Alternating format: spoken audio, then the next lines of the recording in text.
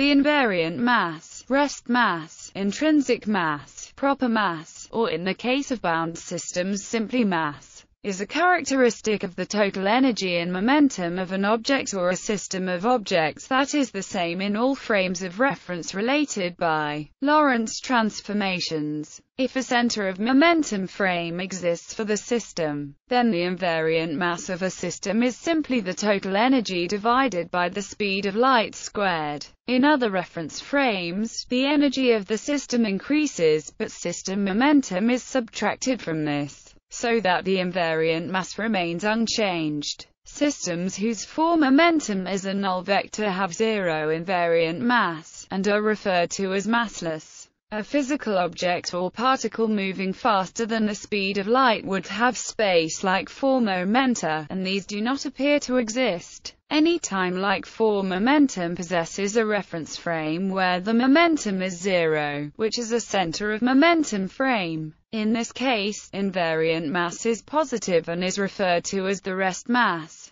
If objects within a system are in relative motion, then the invariant mass of the whole system will differ from the sum of the object's rest masses. This is also equal to the total energy of the system divided by C2. See mass energy equivalence for a discussion of definitions of mass. Since the massive systems must be measured with a weight or mass scale in a center of momentum frame in which the entire system has zero momentum, such a scale always measures the system's invariant mass. For example, a scale would measure the kinetic energy of the molecules in a bottle of gas to be part of invariant mass of the bottle, and thus also its rest mass. The same is true for massless particles in such system, which add invariant mass and also rest mass to systems, according to their energy. For an isolated massive system, the center of mass of the system moves in a straight line with a steady subluminal velocity. Thus, an observer can always be placed to move along with it. In this frame, which is the center of momentum frame, the total momentum is zero, and the system as a whole may be thought of as being at rest, if it is a bound system. In this frame, which exists under these assumptions, the invariant mass of the system is equal to the total system energy divided by C2. This total energy in the center of momentum frame is the minimum energy which the system may be observed to have, when seen by various observers from various inertial frames. Note that for reasons above, such a rest frame does not exist for single photons, or rays of light moving in one direction. When two or more photons move in different directions, however, a center of mass frame exists. Thus, the mass of a system of several photons moving in different directions is positive,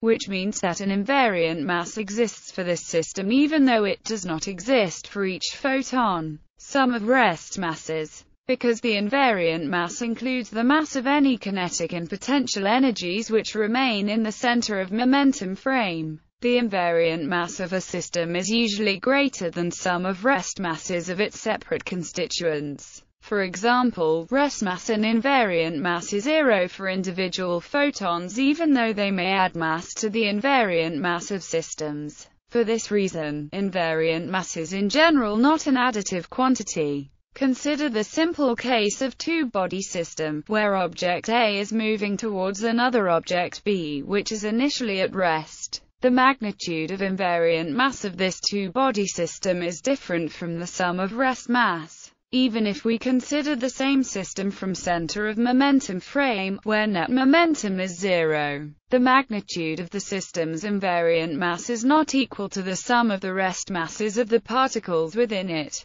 The kinetic energy of such particles and the potential energy of the force fields increase the total energy above the sum of the particle rest masses, and both terms contribute to the invariant mass of the system. The sum of the particle kinetic energies is calculated by an observer is smallest in the center of momentum frame. They will often also interact through one or more of the fundamental forces, giving them a potential energy of interaction, possibly negative. For an isolated massive system, the center of mass moves in a straight line with a steady subluminal velocity. Thus, an observer can always be placed to move along with it.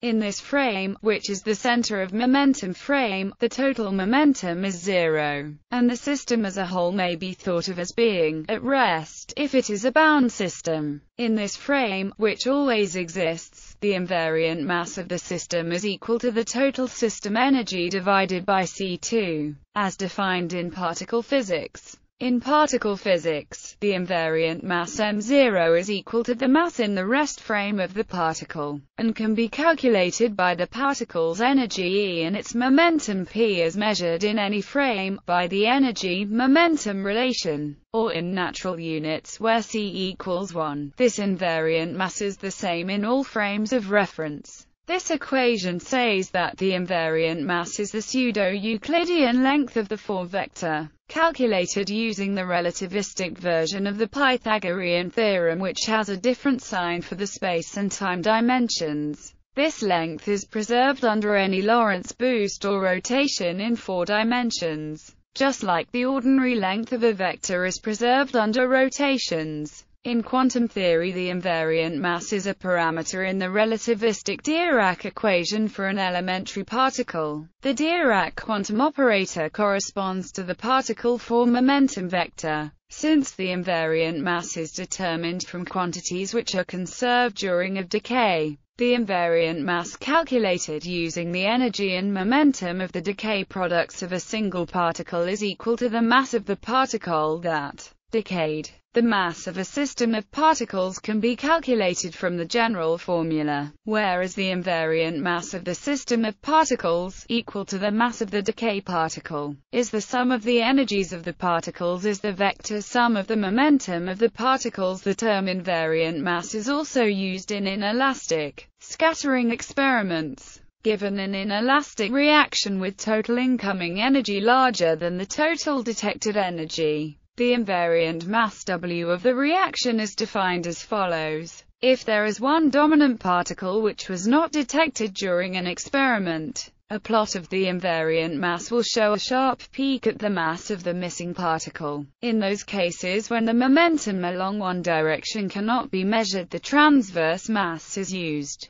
Example, two-particle collision. In a two-particle collision the square of the invariant mass is massless particles the invariant mass of a system made of two massless particles, whose momenta form an angle has a convenient expression. Collider experiments In particle collider experiments, one often defines the angular position of a particle in terms of an azimuthal angle and pseudo-rapidity. Additionally, the transverse momentum is usually measured. In this case if the particles are massless, or highly relativistic then the invariant mass becomes rest energy. The rest energy of a particle is defined as where is the speed of light in vacuum. In general, only differences in energy have physical significance. The concept of rest energy follows from the special theory of relativity that leads to Einstein's famous conclusion about equivalence of energy and mass. See background for mass-energy equivalence.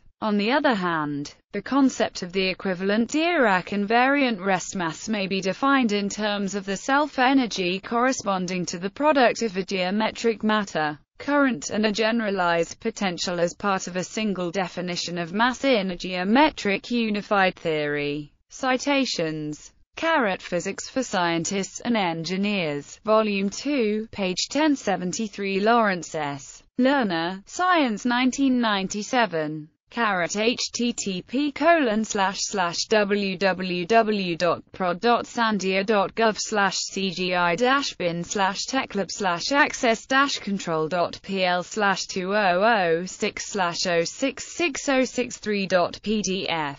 Carrot Modell, Michael, Robert C. Reid, Thermodynamics and its Applications. Englewood Cliffs, NJ. Prentice Hall. ISBN 0-13-914861-2. Caret Gonzalez Martin, Gustavo R. A Geometric Definition of Mass. Gen. REL. And Grav. 26. 1177. Bibcode 1994 Gregor 26.1177G. DOI 10.1007, BFO 21067110.